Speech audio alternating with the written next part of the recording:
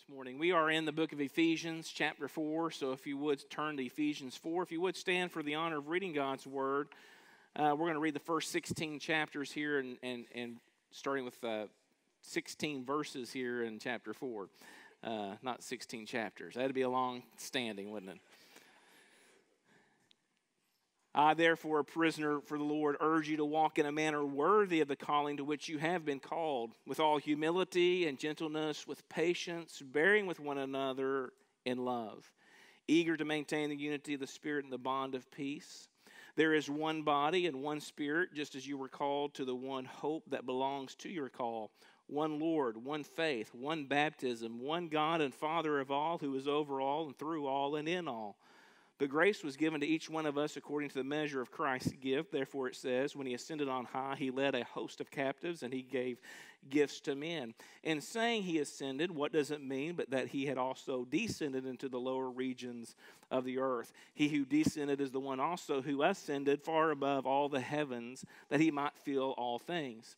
And he gave the apostles, the prophets, the evangelists, the shepherds, and teachers to equip the saints for the work of ministry, for building up the body of Christ until we all attain to the unity of the faith and of the knowledge of the Son of God, to mature manhood, to the measure of the stature of the fullness of Christ, so that we may no longer be children tossed to and fro by the waves and carried about by every wind of doctrine, by human cunning, by craftiness and deceitful schemes. Rather, speaking the truth in love, we are to grow up in every way into Him who is the head, into Christ from whom the whole body, joined and held together by every joint with which it is equipped, when each part is working properly, makes the body grow so that it builds itself up in love. Let's pray.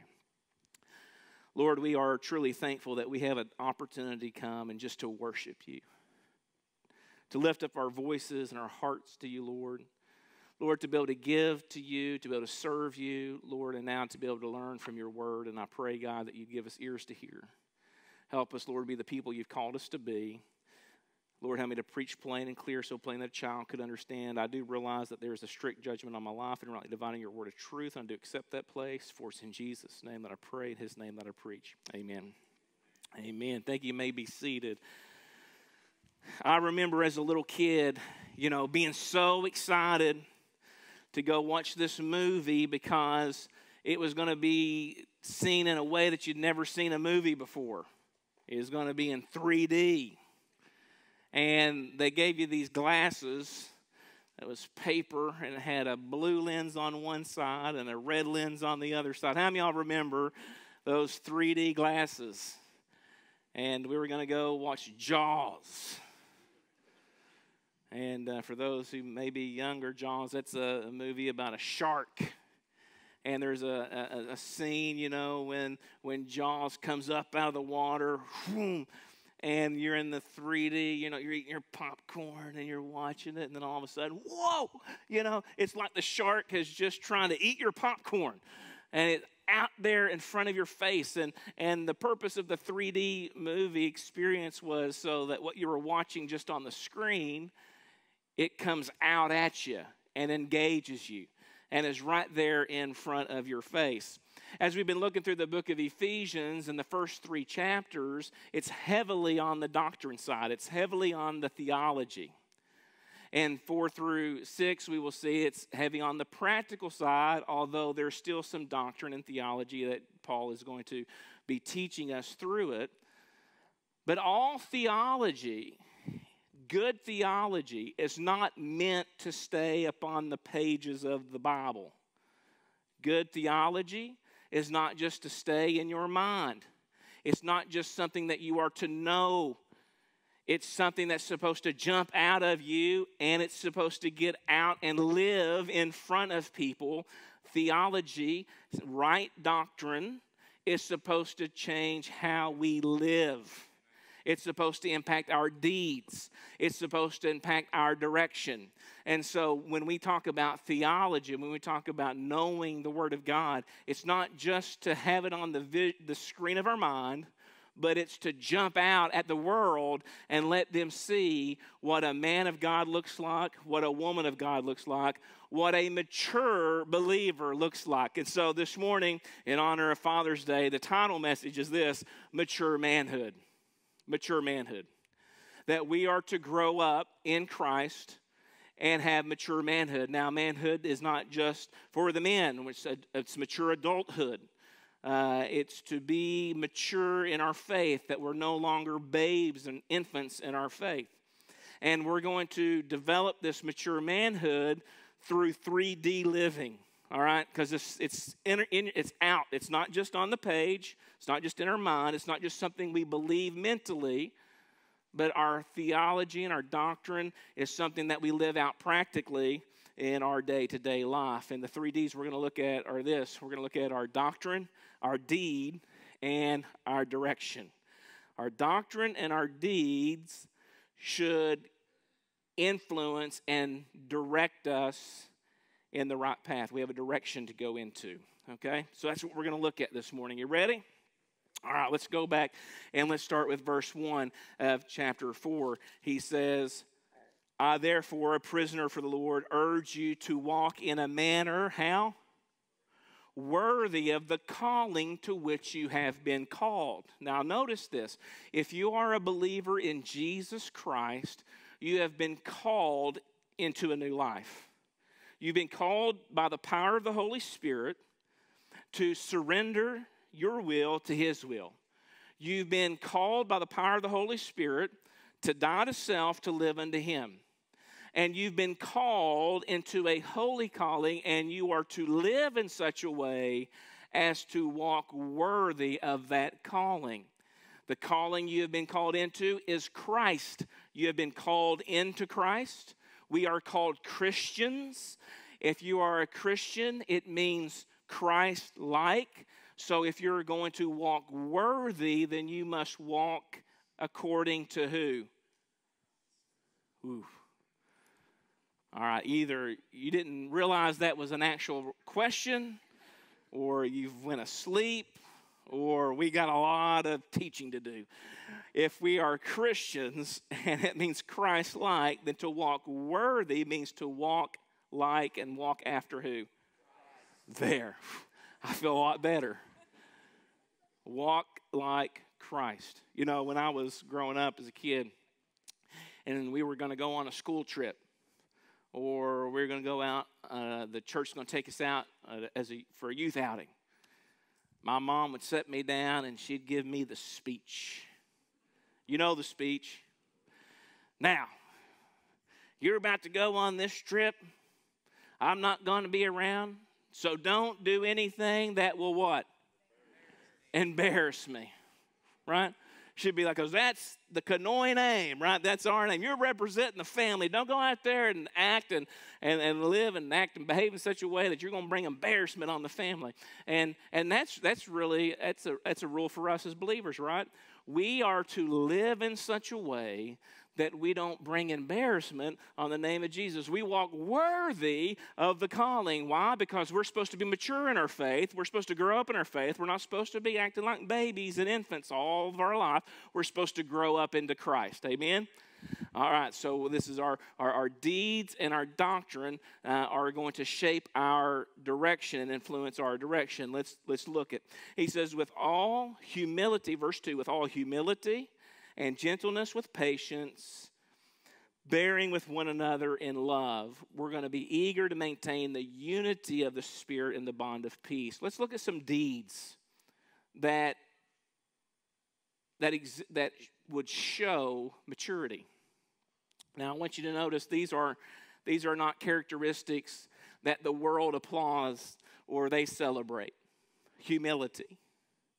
You know, uh, we, we teach people to have pride and to be proud and to do what they need to do. But humility is, is something that we as believers are called to possess and to live out. And, and let's understand what that means. Humility doesn't mean self abasement, it doesn't mean to say, oh, I'm just horrible, I'm just bad, and, you know, false humility you know because a lot of times people say i'm just i'm just not good at that i just can't do really what they're doing is they're wanting the next person to say uh, Oh, no, you're great at that. You're wonderful at that. No, so, not false humility.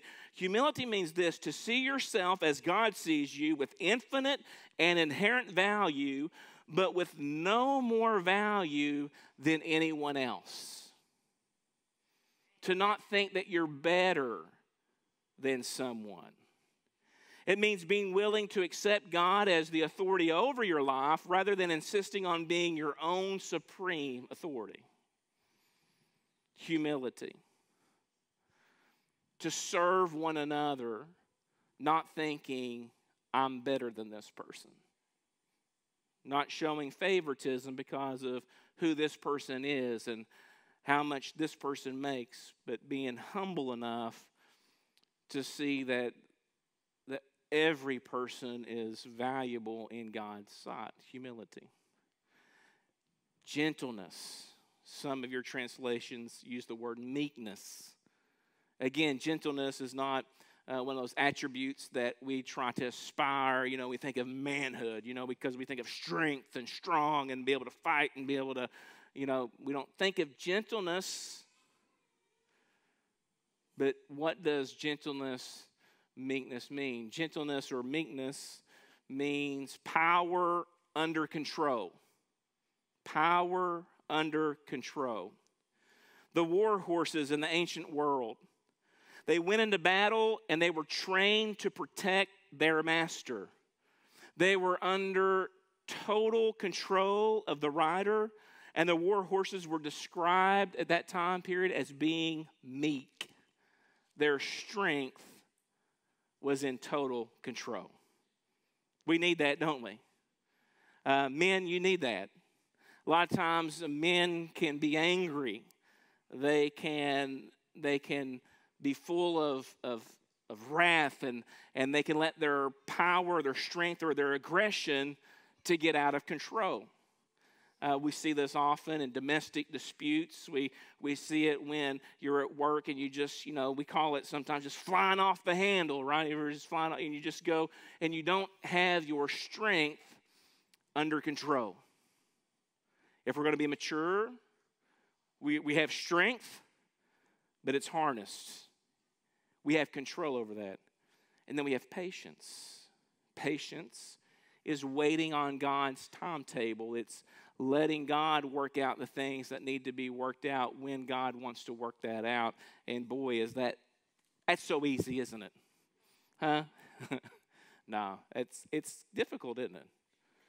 To, to wait on God's timing and and to be patient and and uh, you know if you want more patience, just let me give you some pastoral counseling. Do not pray for it because the Bible says tribulation brings forth patience. Trials brings forth patience. And so when you're in, in the midst of a trial or hardship, uh, you're learning patience, waiting. And it's hard because we want the answer to be resolved right then, right now. All right? Now, let's think about this humility, meekness, or gentleness, and patience. And then he says, uh, uh, to bear with one another in love. Bear with one another in love because uh, he's talking to a church. He's talking to a church, and as a church, we need to be humble. We need not think that we're better than anyone else. We need to have our, our strength under control. We need to be patient with one another, bearing with one another, or we could say it this way putting up with one another. Have you all put up with, uh, hey, let me just ask the dads right now. Hey, Aren't you glad sometimes your wife can put up with you? Huh? And, and don't you have to put up with your spouse sometimes? Don't you, uh, parents, don't we have to put up with our kids sometimes? I mean, we have to bear with one another, and we have to be patient with one another, and we have to be gentle with one another, and we have to have humility with one another because though we're growing to mature manhood, we don't get there instantly. Right? It takes time. And not everybody's going to get it right all the time. We still mess up. How many of y'all still mess up? How many of y'all still say things you shouldn't say?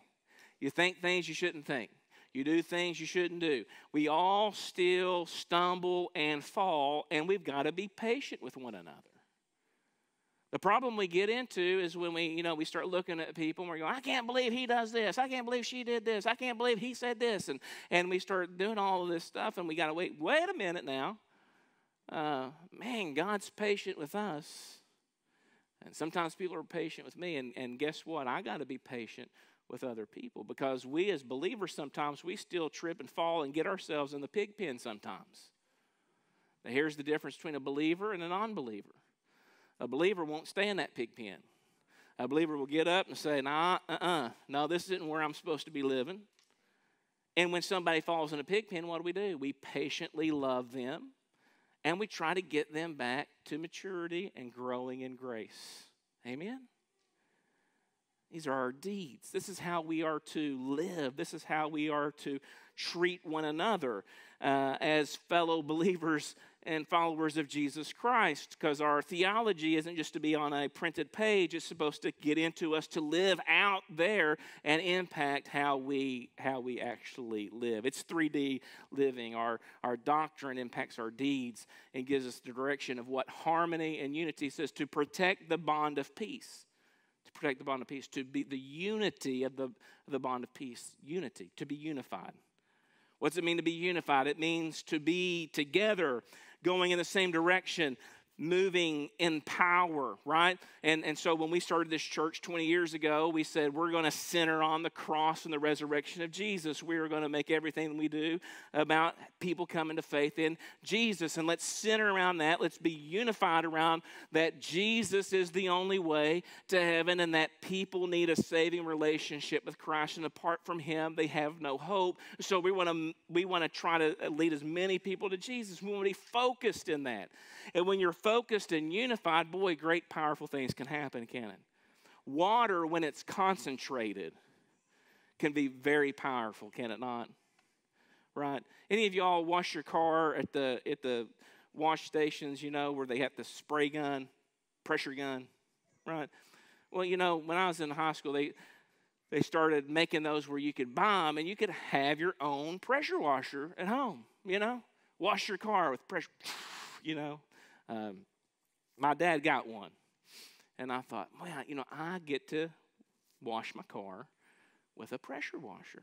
I had a Dodge Daytona. It was white. It had an orange pinstripe down the side. I love that car. It was the coolest car, wasn't it, Michelle? I mean, she just, when she saw me driving through Morehead in that car, she thought, oh, who is that guy? I mean, and and so you know I, am washing. I got that. I got the spray gun out. Right, spray gun. It, it, it's focused pressure of water. Right, and I'm sitting there. I'm going to wash this beauty up, and I go to spray it. My pinstripe went away. I was like, that water just shot that thing right off. Because there's power, you know, when something is concentrated. When we as a church, when, when, when we know our doctrine, when we are centered and we know our faith and we know what we believe in and we focus on what Christ and who He is and we lead all people to Jesus and we're all trying to lead people to Jesus, man, powerful things happen. Amen he goes next to some, some doctrine. He reminds us here uh, of, of our unity, whatever unity in the bond of peace here. We're going to notice the Trinity here in verses 4, 5, and 6. He says, There is one body and one spirit, just as you were called to the one hope that belongs to your call. There's one body, there's one church. Yeah, there's many local churches. But there is one universal church that's invisible. Like there's churches that are meeting all over right now. And then there's lo- in local assemblies. But we're all part of the body of Christ. The church is the body of Christ, and we're each local church is a part of that body. Then each individual person is also a member of that body. And we're united by one spirit. That spirit should be capitalized in your Bible. That's the Holy Spirit. There's one Spirit of the Lord that holds all things together. It's the Holy Spirit of God who comes to live and dwell in the hearts of believers. right? There's one, and there's one hope. There's one hope. We as believers have a common hope. And our hope is this that this is not all there is, that there is, there is a day when Jesus is going to return. And he's going to come and he's going to make all things new. The dead in Christ will rise, those who remain will be caught up to be with him, and so we shall ever be. And he will set up a kingdom that has no end. All evil, all wickedness will be destroyed. It'll be cast out. It'll be no more. There'll be no more suffering, death, disease. And we will live and reign under the lordship of Jesus Christ, and we will be his people forever and ever. And all God's people said, Amen. That is the hope. That's the common hope of, of Christians, of believers in Jesus. Uh, the promise that was made to us by the Holy Spirit, who was the guarantee and down payment of that future hope that will come. And then he says there in verse 5 one Lord, one faith, one baptism, one Lord. That's, the, that's Jesus, right? So we have the Spirit, we have Jesus, one Lord Jesus. There is one name under heaven where men must be saved, and that's the name of who? There's no other way. There's no other path. There's one way to the Father, and that's through the Son. Jesus said, I am the way, I am the truth, I am the life. No man comes to the Father but through me. He doesn't say, I am a way, I am a life. He said, I am the way. It's through Him and through Him only. He is, there's one Lord, there's one faith faith in the Lord Jesus of who He is. And there's one baptism. There's one experience that we all as believers get to experience. And we saw that this morning. These two who profess their faith through believers' baptism. Now, baptism isn't what saves us, it's our faith in Jesus that does that uh, by His grace. But man, it's the one common experience that we as believers get to experience. Man, it demonstrates the death, burial, and resurrection of Christ as we're baptized into Him, into His name, under His authority, to say that we are followers of Jesus, right? Now, baptism is important and we, we love to do baptism if you are a believer there's sometimes when people have maybe grown up in a church and they weren't explained the meaning of baptism or they didn't get connected into a church and so they, they become christians and, and they never get baptized they're, they're believers in jesus they've given their heart and life to jesus they, they love him but but maybe they've never been baptized. And that might be some of you this morning. And if that is, you need to say, hey, it's time for me to do that, to identify with the body of believers and to declare my faith through believers' baptism to say that I'm not ashamed to be a follower of Jesus. And you do that through believers' baptism. Not like the many washings that the Jewish culture had, no, just one. The baptism of saying, I'm a follower of Jesus Christ, buried in Jesus, raised in Jesus. Amen. And then he says, and one Father, right? Look at it. One God and Father of all, who is over all, through all, and in all. There we are. There's the Trinity there the Spirit, the Son, the Father. There is one Father, one God, one Father. He is Lord over all. Okay? Uh, dads, we got to know our doctrine. Men, you got to know your doctrine. Ladies, we got to know our doctrine. Church, we got to grow up. We got to know what we believe. Amen. We got to know what we believe because that impacts how we behave. Verse 7 but, but grace was given to each one of us according to the measure of Christ's gift. Therefore, it says, When he ascended on high, he led a host of captives and he gave gifts to men. And saying he ascended, what does it mean? But that he also descended into the lower regions of the earth. He who descended is the one who also ascended far above the heavens that he might fill all things. And of what's, what's this talking about? Well, um, there's a couple thoughts that theologians have on this, and I like both of them, so I'm going to say amen to both of them. And the one obvious one is this that it's speaking of, and it definitely means at least this, is that it's talking about the, the when, when Jesus humbled himself and took on the form of flesh God becoming man. In the beginning was the Word, and the Word was with God, and the Word was God. Uh, he was in the beginning with God. Verse 14, John 1. And the Word became flesh and dwelt among us. He tabernacled among us. So God became flesh, Emmanuel, which means what? God with us. And, and, and, and so God became flesh. So Jesus, the virgin birth of Mary, and he lived a sinless, perfect life. And on the cross of Calvary, so he, he descended from heaven, lived a perfect, sinless life, died for our sin, took our punishment on the cross, bore our sin, became sin on our behalf. Not that he sinned, but he who knew no sin became sin so that we might become the righteousness of God. He bore our sin on the cross. He died. Why did he die? Why did he have to die? Because the wages of sin is death. So he took our penalty of death. He died. They put him in the tomb, and he rose again and ascended back to the Father in heaven. Amen. And, and so that is the, as the gospel. There's other passages too that also maybe insinuate that when he was dead in those three days, that he, uh, he descended into the lower realms of Sheol where the dead were awaiting in the Old Testament time. They were looking forward to the Messiah. And the thought is that he, he preached the good news to the captives there and said, Hey, all of those of you who are looking for me, I am he. And he released the captives and brought them back into the paradise unto God with him. And so he forever reigns. And I say, Amen. Because what it's speaking of is the victory of Jesus on the cross. That he came down, accomplished what he set to accomplish, that he, he died for our sins according to Scripture and then he went back to the Father where he sits at the right hand of God. That's a position of power and authority where he rules and he reigns. And we worship him. Amen. He is the King of kings and the Lord of lords.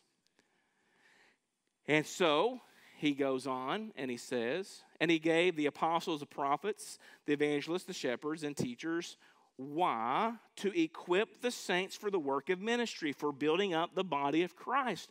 Now, why are you doing works of ministry and why is the body of Christ being built up? We're doing this until we attain the unity of the faith and the knowledge of the Son of God to what? Mature manhood, to the measure of the stature of the fullness of Christ. In Ephesians, he talks about that everything that we have has been laid upon by the apostles and the prophets. Uh, Peter does the same thing that our faith is the, the foundation of our faith is given to us by the apostles and the prophets, with Jesus Christ Himself being the chief cornerstone, right? What are the apostles and the prophets? It's the Word of God. It's the inspired Word of God that came to us through the apostles, giving us the New Testament, and it's the prophets of God who gave us the inspiration inspired Word of the Old Testament. Everything that we believe is grounded upon the Word of God, God's inspired Word, centered on Christ. That's how we grow up into mature manhood. We got to know the Word of God. We got to know what the, the foundation is that the apostles and prophets laid for us. And then there's evangelists that take this word and they go throughout all of the world and they begin preaching and declaring the good news of Jesus. And there's pastors and teachers who are, are put in place uh, to oversee uh, the church so that the church may grow up into maturity, so that the church may build up for works of ministry and building up of the body. Now, we teach this in our classes. We have our class 101 and through 401 classes. We teach this is that um, that John and, and and our main job uh, as pastors here is not for us to do all the ministry. You know, for, for one, we can't do everything that Living Water Church does, right? I mean, we're good, but we're not that good, right? I mean, we can't do it like we, the impact that Living Water Church has made, we would not be able to make that if it wasn't for the building up of the saints for the work of the ministry. Who are the saints? You all. And you all are, we try to build you up for the work of the ministry. That's why we try to uh, make sure that you know what, what to believe through the preached word of God, through sound biblical teaching. That, that you grow up in your faith through discipleship, uh, that you serve the kingdom through understanding your shape, and then that you go out and you try to invite people to Jesus by uh, knowing how to share the gospel. And so what when when we all come together and we all become the part of the body that God's gifted us to become, then we we we work very well. Like your body, when everything's working good, that's good, isn't it? Like Matt, like you're getting a new body, right? Like he's get he got a new foot, he's getting a new new knee, he's getting a new hip, you know. So you know you're gonna be you're gonna be playing on the softball team soon, right? Basketball, exactly. And uh, so we're gonna we're gonna see, he's just gonna become a new man. But when you have every part of your body working when it's healthy, man, your body works well, doesn't it? But we have different parts that make up our body, right? We have an eye, but our whole body's not an eye, right? If our whole body was an eye, we would see a lot, but we wouldn't do much, would we? It takes many different parts of our body and for us to function. Every member has a different part, and when we all come together and, and, and, and play the position that God has gifted us to play, man, great things happen for the kingdom. Amen? The unity of the body. When we as a church are patient with each other, when we are uh, we live and walk in humility, when we ha- walk in meekness, we walk in patience. Man, God begins to shape and mature not only you individually, but a church together collectively into mature manhood. We as a church, we as a church are we're 20 years old now as a church, right? Uh, so we're getting into adulthood. Yeah, young adulthood as a church, but it's still adulthood. And we as a church are to grow up and mature, and that happens as each one of us grows and matures. You with me? Our doctrine and our deeds direct us into unity for the good of the gospel. So, now we grow up into maturehood, and the purpose of that, look at verse 14, is so that we may no longer be children, tossed to and fro by the waves and carried about by every wind of doctrine, by human cunning, by craftiness and deceitful schemes. Right? We, we can't be children just tossed around. Why? Because we have a doctrine that is grounded in the Word of God. We are building our house on the rock. Amen? We're building on the rock, so when the winds come and the rains come, it's not going to blow us over. We're going to have our doctrine solid. Now, even in Paul's day, there were false teachers who would come behind him and try to distort the gospel. Some of those were known as early Gnostics. Gnosticism was a spiritualized form of belief that they had special knowledge into the things of God and they tried to separate the material and the spiritual and, and they would come and confuse believers. And, and we've got to know what we believe.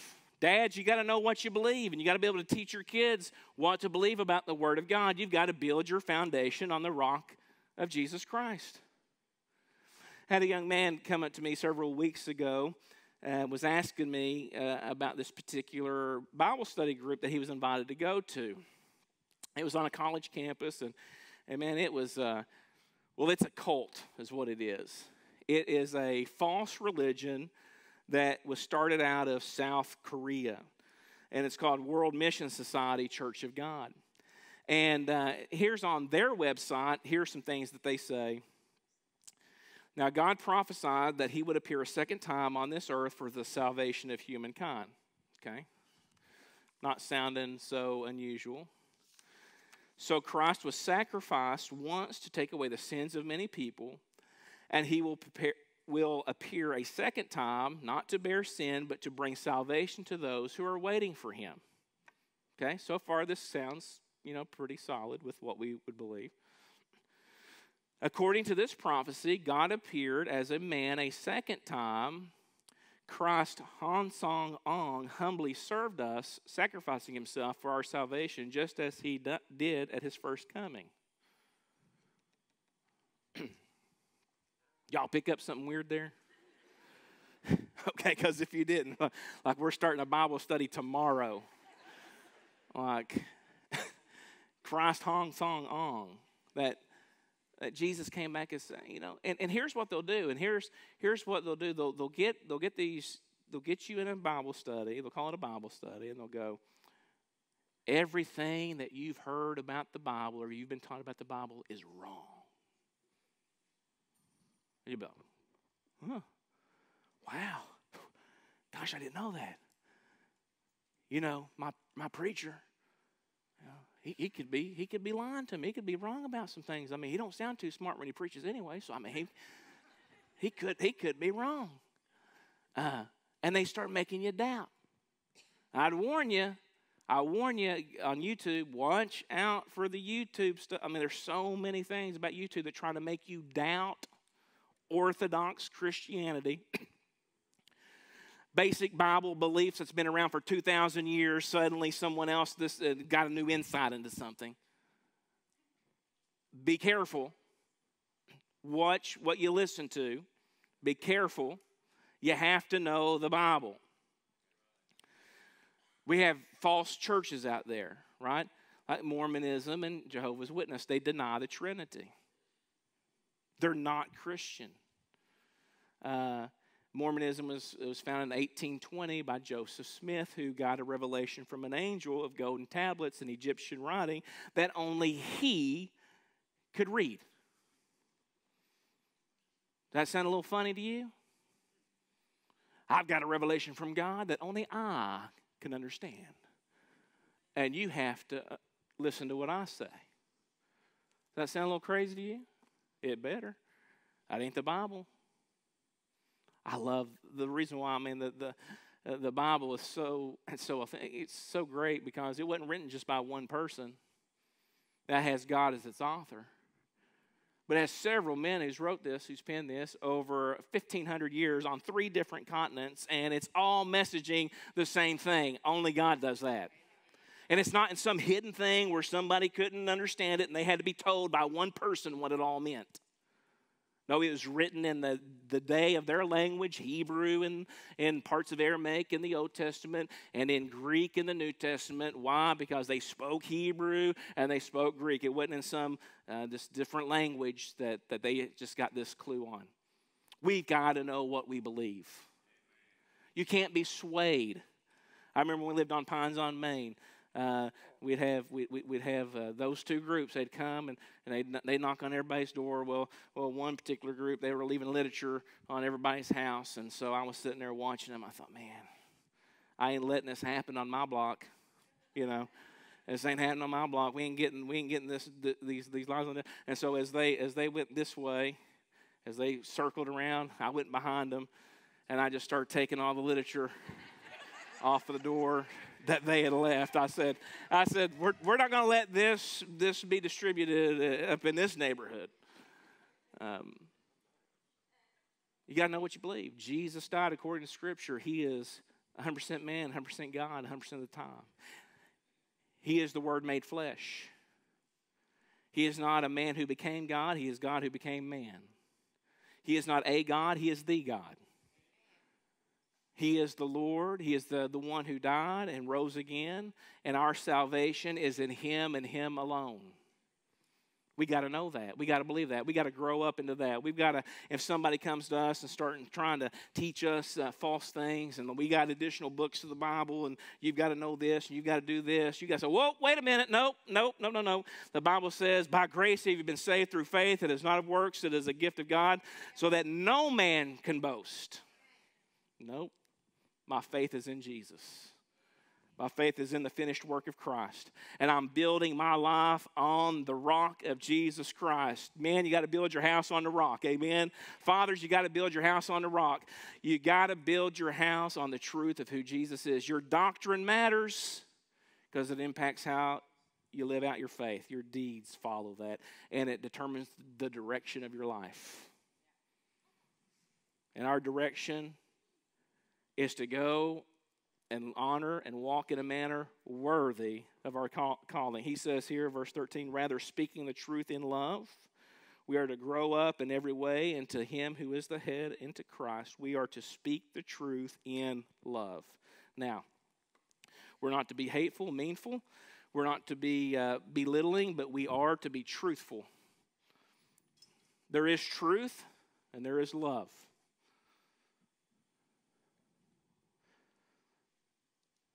Jesus died for my sin, for your sin. There's no other God that did that. The answer for the world is who? Jesus. We speak the name of who? Jesus. We speak the truth of who? We lead people to who? Because he's the Savior of all. He died to save sinners. And the Bible says that we've all sinned and fall short of glory. All of us are sinners. So everybody needs who? Jesus. So we go preach Jesus. And we do that, and we, we, we try to preach Jesus all the way through Montgomery County, right? And when we're all unified and we're talking about Jesus, when we all leave this place and we go to our homes and we go to our communities that we live in, we take who with us? Jesus. And we preach Jesus. We share Jesus. We live Jesus. It impacts Montgomery County. We got all kinds of people here in Montgomery County, and we're trying to share Jesus with people. We got folks in Clark County that come to this church, and we got so we, we got some some influence there in Clark County as they as they go and try to live and, and share and talk about who. We got some people in Menifee County that are part of this church. They go on to Menifee County. Got some in Fleming County. There's some folks in Bath County. We have folks in Breathitt County. And then someone chimed in and in um, in uh, in first service, and hey, it's okay. It, they're from Wolfe County, and and and and we got folks in Wolfe County. Uh, I've Fleming County, have a Fayette County. Oh yeah, in Fayette County. It's spread out to Fayette County, and it's like, man, look at all of the counties that are being influenced right here. And let's just keep taking it out because the more we start sharing, the more we start inviting, the more impact that we make for the kingdom of God. And we got to know what we believe. Our doctrine's got to be steady. Our deeds have got to they've got to they got to back up what we say we believe. We got to live out our faith. And the direction we go is to honor Jesus in all that we do, to walk worthy. I don't know about you, I'm going to build my house on the rock. Dads, you're going to build your house on the rock. Moms, you're going to build your house on the rock. Let's build our house on the truth of the gospel of Jesus Christ, and may He be glorified. Amen. If you need to know Jesus as Lord and Savior this morning, we're going to have a time of invitation. We're going to ask you to come and say, I need to be saved. If you need to be baptized, if you say, I've, I've been a Christian for a while and I've never, I've never been baptized, I need to be baptized, you come and let us know that. You just want to come and pray, you're going to come and pray. Men, towards the end, as we wrap up the service, I want all dads to start coming down. We're going to have our, our annual toast that we have, and we're going to, we're going to celebrate fatherhood, okay? So let's, let's bow our heads as we come to our close of our invitation. Lord Jesus, we thank you. We thank you for your love and kindness and that you humbled yourself so that we might be redeemed, that you took on flesh and you bore our sin and you bore our shame and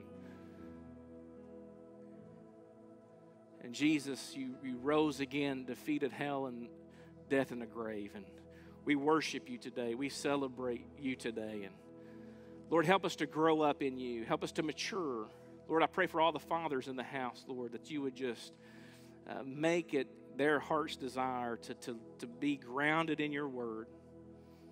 May they grow up in you. That the mothers, that the that, that just everyone in our church, God, we would mature into, into Christ. So, Lord, speak, move, do your bidding in Jesus' name. Amen.